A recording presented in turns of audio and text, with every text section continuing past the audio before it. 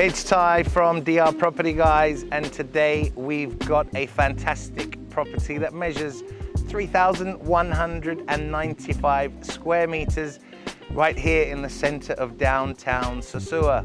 Now the drone footage we are going to accompany this video with is going to show you just how close it is to Playa Sosua and to Playa Alicia.